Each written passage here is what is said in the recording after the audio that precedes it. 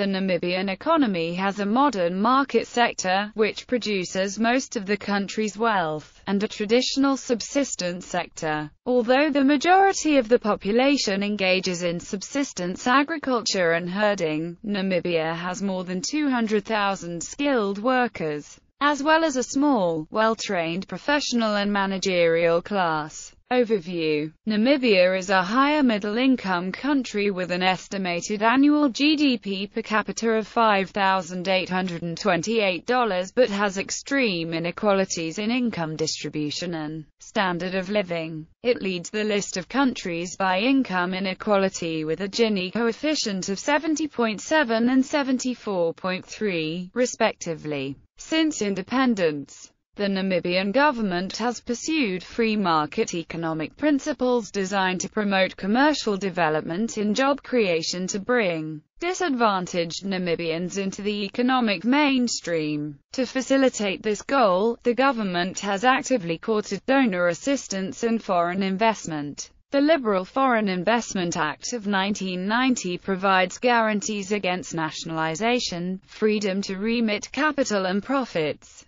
currency convertibility, and a process for settling disputes equitably. Namibia also is addressing the sensitive issue of agrarian land reform in a pragmatic manner. However, government runs and owns a number of companies such as Air Namibia, Transnamib and Nampost, most of which need frequent financial assistance to stay afloat. The country's sophisticated formal economy is based on capital-intensive industry and farming. However, Namibia's economy is heavily dependent on the earnings generated from primary commodity exports in a few vital sectors, including minerals, especially diamonds, livestock, and fish. Furthermore, the Namibian economy remains integrated with the economy of South Africa, as the bulk of Namibia's imports originate there. In 1993, Namibia became a signatory of the General Agreement on Tariffs and Trade signatory and the Minister of Trade and Industry represented Namibia at the Marrakesh signing of the Uruguay Round Agreement in April 1994. Namibia also is a member of the International Monetary Fund and the World Bank, and has acceded to the European Union's Lomé Acute Convention. Regional integration. Given its small domestic market but favorable location and a superb transport and communications base, Namibia is a leading advocate of regional economic integration. In addition to its membership in the Southern African Development Community, Namibia presently belongs to the Southern African Customs Union with South Africa, Botswana, Lesotho, and Swaziland. Within SACU, no tariffs exist on goods produced in and moving among the member countries.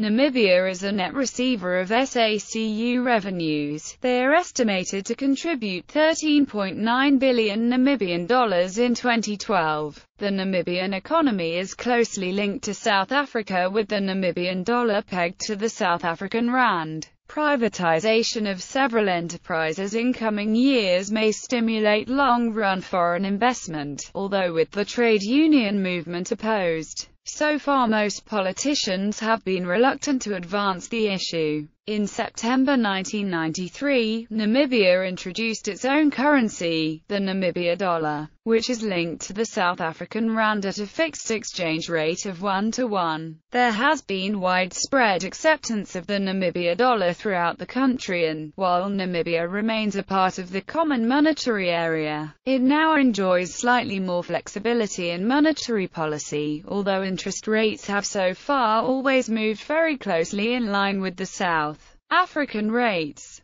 90% of Namibia's imports originate in South Africa, and many Namibian exports are destined for the South African market or transit that country. Namibia's exports consist mainly of diamonds and other minerals, fish products, beef and meat products, karakul sheep pelts, and light manufactures. In recent years, Namibia has accounted for about 5% of total SACU exports, and a slightly higher percentage of imports. Namibia is seeking to diversify its trading relationships away from its heavy dependence on South African goods and services. Europe has become a leading market for Namibian fish and meat, while mining concerns in Namibia have purchased heavy equipment and machinery from Germany, the United Kingdom, the United States, and Canada. The government of Namibia is making efforts to take advantage of the American-led African Growth and Opportunity Act, which will provide preferential access to American markets for a long list of products.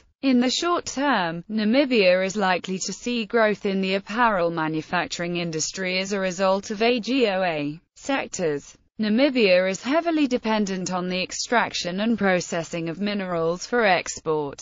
Taxes and royalties from mining account for 25% of its revenue. The bulk of the revenue is created by diamond mining, which made up 7.2% of the 9.5% that mining contributes to Namibia's GDP in 2011. Rich alluvial diamond deposits make Namibia a primary source for gem-quality diamonds. Namibia is a large exporter of uranium and over the years the mining industry has seen a decline in the international commodity prices such as uranium, which has led to the reason behind several uranium projects being abandoned. Experts say that the prices are expected to rise in the next three years because of an increase in nuclear activities from both Japan and China. The mining industry in Namibia is supposedly going to reach US 179 BN by the year 2018. Mining and energy diamond production totaled 1.5 million carats in 2000, generating nearly $500 million in export earnings. Other important mineral resources are uranium, copper, lead, and zinc. The country also is a source of gold, silver, tin, vanadium, semi-precious gemstones, tantalite, phosphate, sulfur, and salt. Namibia is the fourth largest exporter of non-fuel minerals in Africa, the world's fifth largest producer of uranium, and the producer of large quantities of lead, zinc, tin, silver, and tungsten. Namibia has two uranium mines that are capable of providing 10% of the world mining output. The mining sector employs only about 3% of the population while about half of the population depends on subsistence agriculture for its livelihood. Namibia normally imports about 50% of its cereal requirements. In drought years food shortages are a major problem in rural areas. During the pre-independence period, large areas of Namibia, including offshore, were leased for oil prospecting. Some natural gas was discovered in 1974 in the Kudu field off the mouth of the Orange River but the extent of this find is only now being determined. Agriculture About half of the population depends on agriculture for its livelihood, but Namibia must still import some of its food. Although per capita GDP is five times the per capita GDP of Africa's poorest countries, the majority of Namibia's people live in rural areas and exist on a subsistence way of life. Namibia has one of the highest rates of income inequality in the world due in part to the fact that there is an urban economy and a more rural cash-less economy. The inequality figures thus take into account people who do not actually rely on the formal economy for their survival. Although arable land accounts for only 1% of Namibia, nearly half of the population is employed in agriculture. About 4,000, mostly white, commercial farmers own almost half of Namibia's arable land. The governments of Germany and Britain will finance Namibia's land reform process, as Namibia plans to start expropriating land from white farmers to resettle landless black Namibians. Agreement has been reached on the privatization of several more enterprises in coming years, with hopes that this will stimulate much-needed foreign investment. However, reinvestment of environmentally derived capital has hobbled Namibian per capita income. One of the fastest growing areas of economic development in Namibia is the growth of wildlife conservancies. These conservancies are particularly important to the rural generally unemployed population. An aquifer called Ohangwena 2 has been discovered, capable of supplying the 800,000 people in the north for 400 years. Experts estimate that Namibia has 7,720 cubic kilometers of underground water. Fishing the clean, cold South Atlantic waters off the coast of Namibia are home to some of the richest fishing grounds in the world, with the potential for sustainable yields of 1.5 million metric tons per year. Commercial fishing and fish processing is the fastest growing sector of the Namibian economy in terms of employment, export earnings, and contribution to GDP. The main species found in abundance off Namibia are pilchards, anchovy, hake, and horse mackerel. There are also smaller but significant quantities of sole, squid, deep-sea crab, rock lobster, and tuna. At the time of independence, fish stocks had fallen to dangerously low levels due to the lack of protection and conservation of the fisheries and the overexploitation of these resources. This trend appears to have been halted and reversed since independence, as the Namibian government is now pursuing a conservative resource management policy along with an aggressive fisheries enforcement campaign. The government seeks to develop fish farming as an alternative, manufacturing and infrastructure in 2000. Namibia's manufacturing sector contributed about 20% of GDP. Namibian manufacturing is inhibited by a small domestic market, dependence on imported goods, limited supply of local capital, widely dispersed population, small skilled labor force and high relative wage rates, and subsidized competition from South Africa. Walvis Bay is a well-developed, deep-water port, and Namibia's fishing infrastructure is most heavily concentrated there. The Namibian government expects Walvis Bay to become an important commercial gateway to the southern African region. Namibia also boasts world-class civil aviation facilities and an extensive, well-maintained land transportation network. Construction is underway on two new arteries, the Trans-Caprivi Highway and Trans-Kalahari Highway, which will open up the region's access to Walvis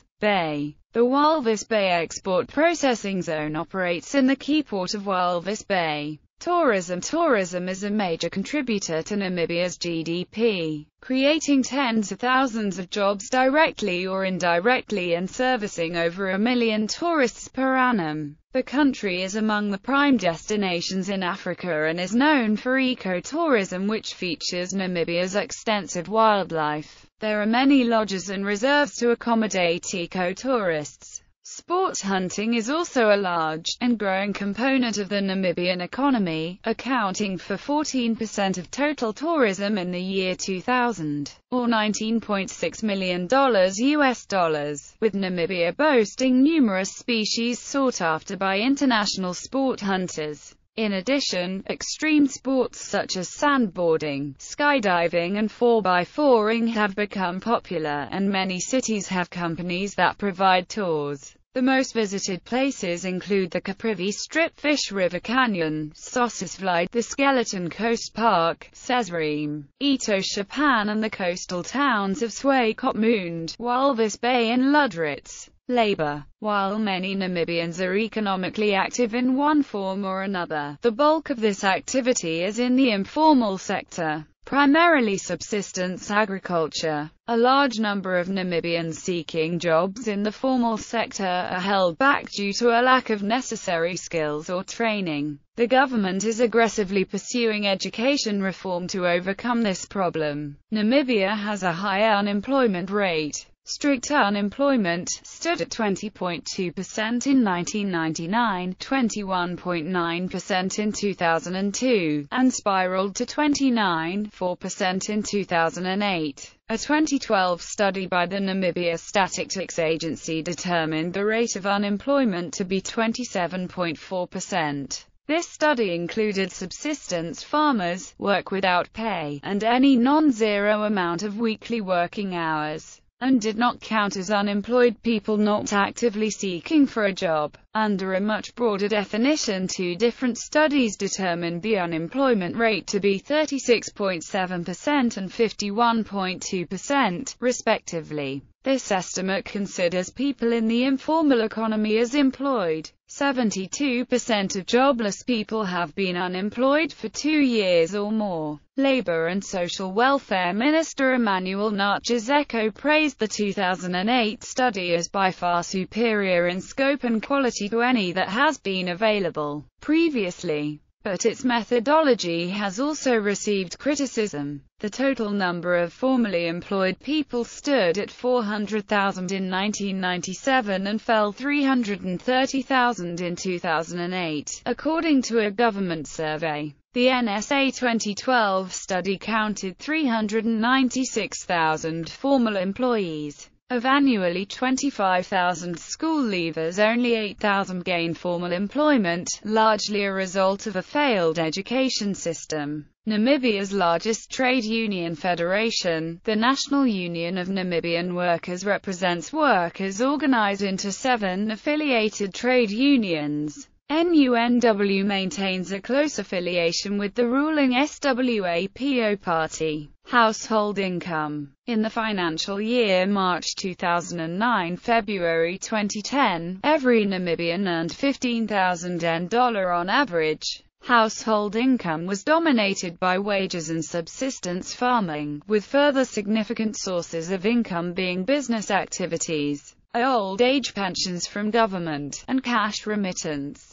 Commercial farming only contributed 0.6%. Namibian businesspeople Benjamin Hauwanga, Harold Pupkewitz, Wilhelm Sander, Frans Indongo,